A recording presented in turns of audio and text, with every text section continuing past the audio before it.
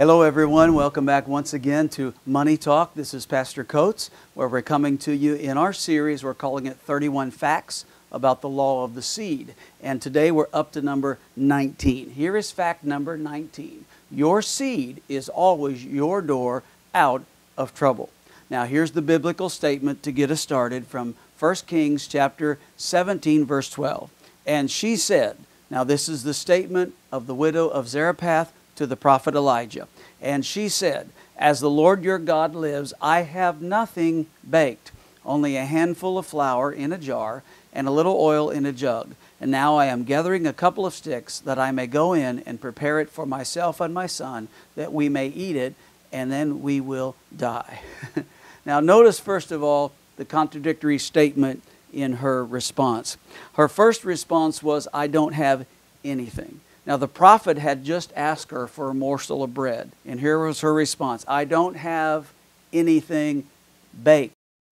now, obviously, she had just a little bit of, of oil, she had just a little bit of flour, she had just a little bit of the seed to make bread, but her immediate response was, I don't have anything, well, I don't have anything baked. You see how misleading that could be? Uh, in all reality, we always have more than what we realize. Now, true, she didn't have much. She just had a little bit, just a little flour and a little bit of oil. But how many know that little is much when God is in it? So, your seed is always the key, it's the door out of trouble. Let me give you three statements this morning.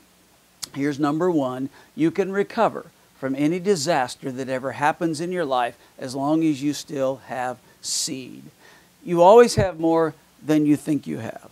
Have you ever heard anybody say, Well, I would give something as a seed, I would sow a seed, but I don't have anything? Well, we know that in all reality, that's not really true. They may not have a lot, and they may feel like they don't have what they need, but in all reality, everybody has something you can recover from any disaster that ever happens in your life as long as you still have seed. Now, here's the second statement you are never without seed. You always have something. Maybe you don't have as much as you'd like. Maybe you don't have as much of one thing as what you might think you need. But you always have something. You are never without seed. And here's statement number three your seed is the key to your future. Now, she did bake the morsel of bread. She did give it to the prophet Elijah. And here's the response in 1 Kings 17 15. And she went and did as Elijah said. And she and he and her household ate for many days. The jar of flour was not spent, neither did the jug of oil become empty, according to the word of the Lord that he spoke by Elijah. So here is the money talk truth for you today. Your seed is always your door out of trouble because you can recover from any disaster that ever happens in your life as long as you still have seed. This is fact number 19 in our series 31 Facts Concerning the Law of the Seed.